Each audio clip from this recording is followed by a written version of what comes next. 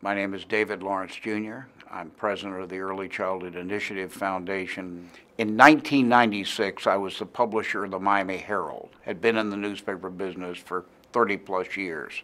The governor of Florida asked me to be on the Governor's Commission on Education, which was to look at education in the next millennium.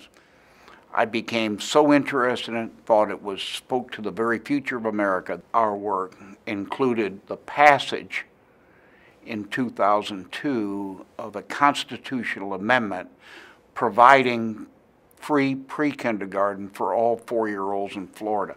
Not mandated, voluntary.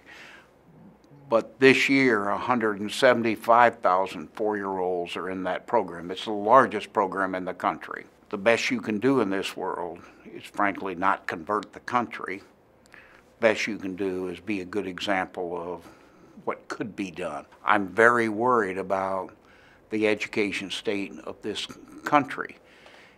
And I know that the first several years are the critical years. If 85% of brain growth is by the age of three, we better be doing something and and doing a lot of things. So early investment and the return on that investment is crucial.